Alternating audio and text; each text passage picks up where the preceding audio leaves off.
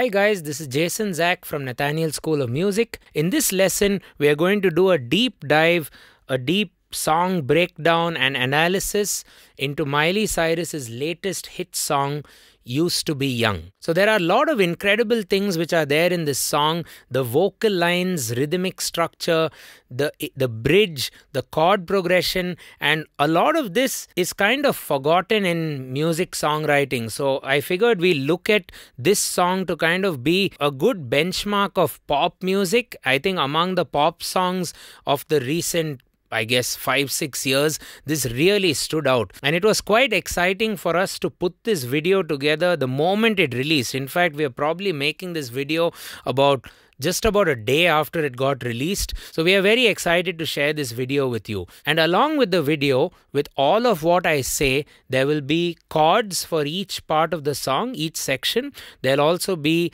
notation for every single bit the verse, the bridge, the chorus, the outro, and so on and so forth.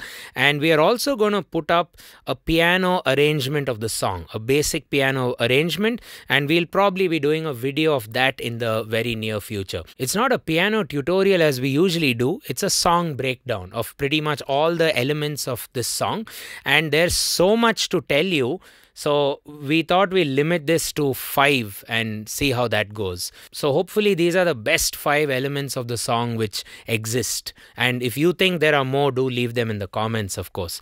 Before we get started, it'll be awesome if you could consider hitting that subscribe button and hitting that bell icon for regular notifications. And all the notation, my handwritten chord charts are all waiting for you on our Patreon page for a small subscription, of course, for about $5 a month. Let's get started. So the first insanely cool element of this song comes from the piano intro, which he also plays during the verse sections. The chords are basically E major, G sharp minor seventh, or G sharp minor, or E over G sharp. You see where I'm going with this? I don't know what that chord is because he's not playing it as chords. So I'll deal with that soon. So it's kind of E major then then G sharp minor or E major over G sharp and then C sharp minor and then A major. Okay and this goes on for the verse and more or less the chorus as well. But the way the pianist approaches the section is uh, let me play you the intro and you'll you'll get what I'm saying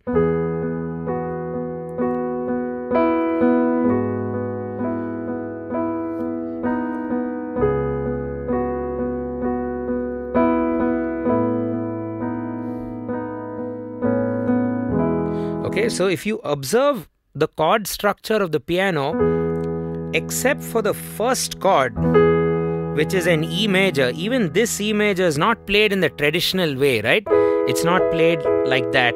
Even the second chord, G sharp minor, is not played in the traditional triadic way.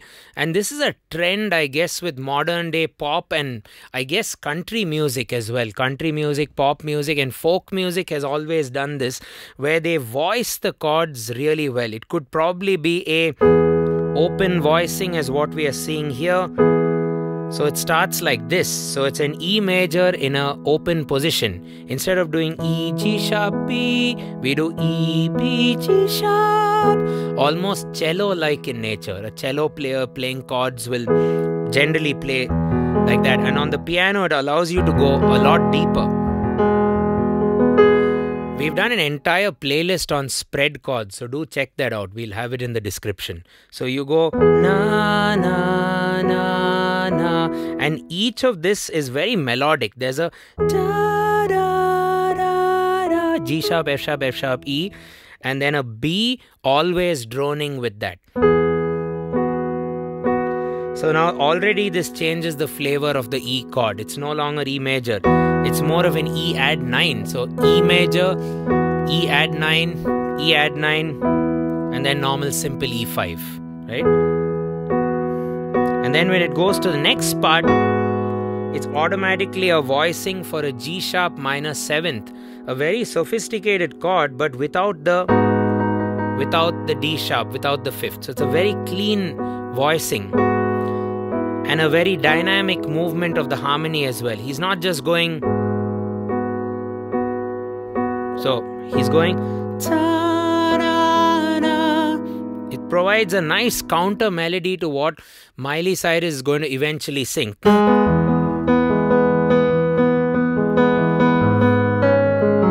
While the piano continues to play that melody.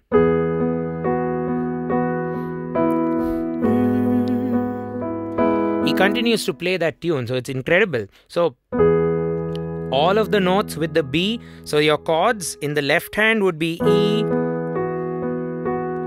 just in the bass, G sharp bass, then C sharp in the bass with the same figure which you played for E offers a completely different perspective when you now play it with a C sharp bass, third chord and the fourth chord is beautiful.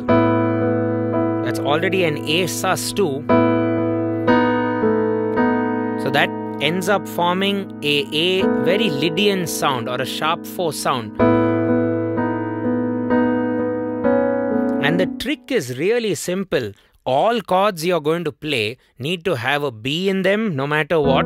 So you just decide. Generally, when you're playing pop music with these open kind of voicings, you could have your root to be rooted or repetitive.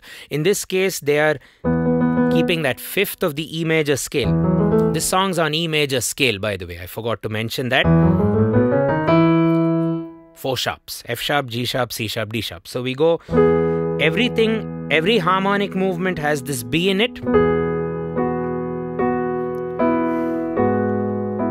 Very clean and very deep as well. You can play it quite down below, and that Lydian sound, very beautiful there. And that's an A chord going back to the E, which is very interesting. That's called the plagal cadence in music. We miss that a lot these days. It's usually the authentic cadence, which is the five going to one. So, very vocally nice as well. If you sing it, it's a vocal melody too. And that's not all the piano player is doing. There's also a, a, good focus on rhythm because for the most part of the song is just piano and vocal. So the piano is creating a kind of a broken effect between the chords.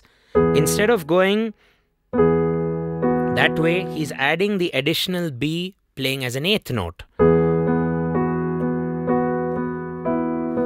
There we go. So there's always that B. And also, the B is providing rhythm to the party. And to make it even more interesting, he's flamming it almost like a guitar most guitar players will play this line like this, so it's very guitar like. And the piano is also chosen to have a very guitar or a harp like sound. It's a felt piano. See? Very subtle. Yes, you should play it also softly, but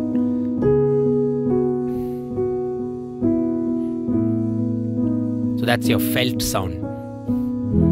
Beautiful tone Mm. right? So that's about the piano intro. There's so much more the pianist is doing. So let's now move forward to the next amazing thing in Used to Be Young by Miley Cyrus. So it might be very weird to say this, but secondary dominants are back now in music and hopefully going to be trending soon as well, as Miley Cyrus has done in this in the chorus of the song. So in the verse we did E major, na na na na na na na na, G sharp minor seven, na na na na na na na na na na na na na all diatonic na na na na na na na na na na na na na na na na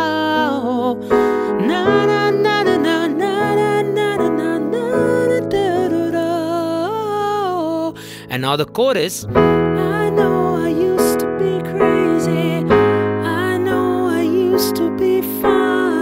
so that's the chord there which you Hmm. which is always there in your old 90s and especially 80s power ballads. So, a chord which is not part of the native scale of E major is G sharp or A flat dominant 7th. As you can see, you have a C there, which is not part of the scale.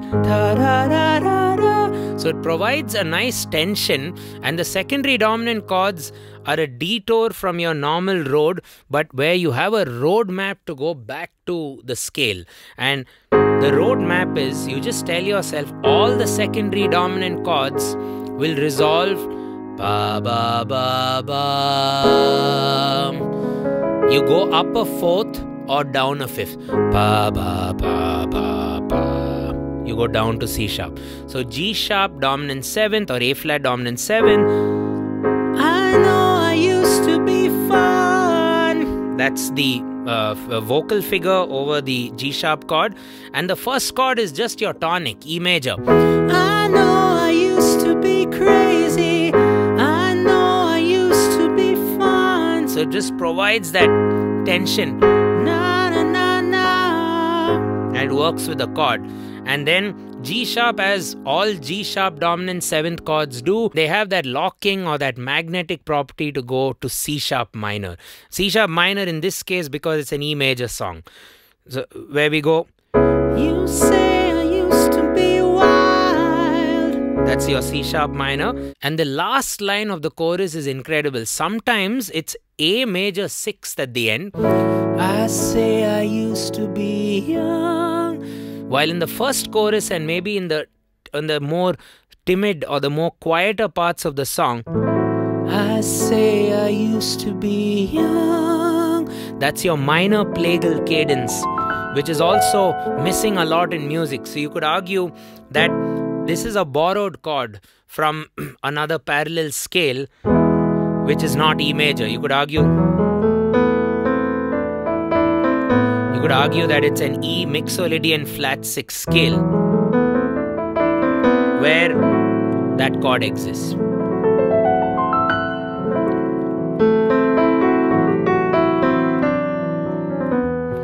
In the chorus, you have this varying nature of the last chord. I say I used to be young. When the song gets a bit happier or more positive, at least in the video, I guess, you you'll have a major sixth chord. While I say I used to be young, you have that minor sixth which is borrowed. And what is a major sixth and a minor sixth chord? Very quickly. They are beautiful chords. Both of them have one thing in common. They have a major sixth interval up top. And the minor sixth chord is a minor chord with a major sixth chord up top. So those are the two remarkable harmonic things in the chorus where we go, I know I used to be crazy, secondary dominant. I know I used to be fun. And then the minor, the relative minor, you say I used to be wild. And then sometimes the minor six, I say I used to be young. Versus major six, sometimes I say I used to be young. And don't forget what Miley is doing at the end.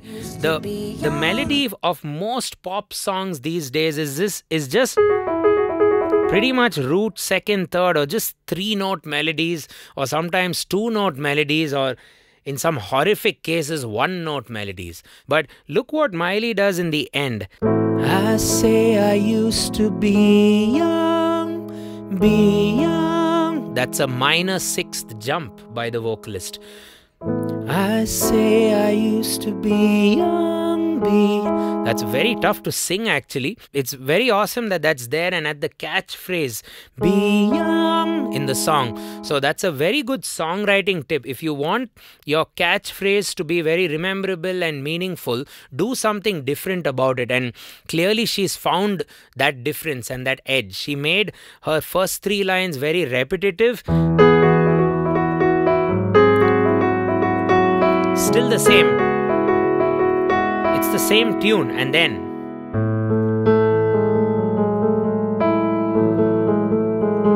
And that works really well with both the major sixth chord, A major sixth, and the minor six because she doesn't hit the third. So she is very clever about singing that melody because it could go with either of those chords. There's something more about this song, and that brings me to the bridge. The bridge pretty much has the same chords, they move into like an E major seventh Miley now goes into a kind of a vocal solo with just oh, ah, things like that. And the rhythmic pattern which she uses is in- incredible. I'm just going to sing that, and it's also notated there. So you can see the sophistication there. She waits for a dotted quaver and then starts singing. Whoa. That's over the E major 7. Whoa. That's a 30 second note for you, which she does with her voice. Then the secondary dominant, which was there in the chorus as well.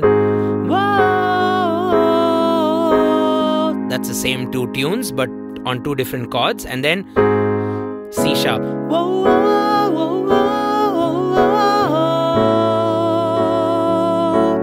Okay, that's another uh, similar figure but different notes.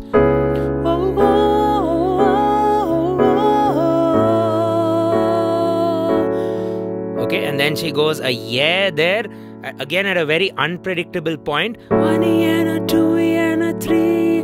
One e and a two e and a three. Hey. One e and a two and a three. Oh, yeah. One and a two and a three. Yeah. And then it goes much more higher towards the same chord structure, but.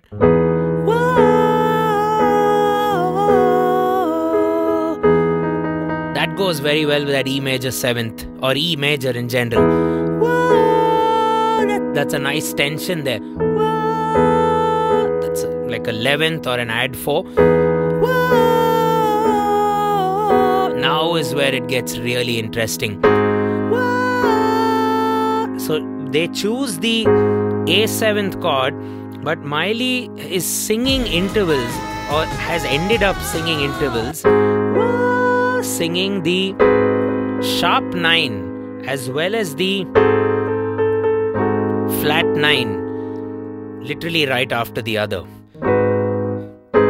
Whoa, whoa, which is the sharp 9? Oh, which is the flat 9? And the nines, we call them nines because they are beyond a seventh chord. So there's also a, there's already a seventh chord which is A flat seventh, and then she sings a tension note or an, an extended note over that, which is not that note. That would be a normal ninth, but then you're leaving the E major scale. A normal ninth with respect to A flat will actually sound bad. That'll be wrong actually. So she sticks to the key.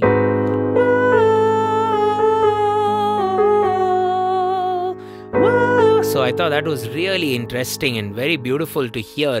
You're hearing sharp 9 and the flat 9. In which vocal melody have you heard a sharp 9 and a flat 9 in the same song and one note right after the other? That's a trivia question for you. I don't know if you'll find many. The absolute end of the bridge would be. She repeats that. Okay, so that's the bridge. It's first of all, there's no guitar solo, it's, it's a vocal solo, and she just does some vocal syllables like whoa, oh, oh, yeah, yeah, and it's so well rhythmically knit. And then that ending, which I told you, the the way the inevitable intervals landed up being, I thought was very beautiful. Having the sharp nine in there, having the flat nine in there consecutively. So there's one more really nice thing I thought worth mentioning about Used to Be Young. That's the end of the song where she breaks the song down, sings the whole melody one octave low, and then she goes back to her usual range. But to go back to the last chorus of the song, we have this breakdown chorus or like a lesser dynamic chorus. I know I used to be crazy. So she goes to that lower octave. Da da da da da da da da da da da da da da da da and that rhythmic figure I think was the best part of the song for me. I don't know how they came up with that. So that's at the line, that's cause I used to be young. And she waits for a dotted quaver. That's cause one E, a two E, and a. So the two on and the a of the two and the a of the one. That's cause I used to be young. Used to be is now a triplet. It's a eighth note triplet introduced in a bar with semiquavers. So there's some serious beat division going on there, dividing by four, dividing by three, then having a dotted feel, which is a lot of work for just one bar of a song, you know. That's a lot of work put in. So you go, That's cause I used to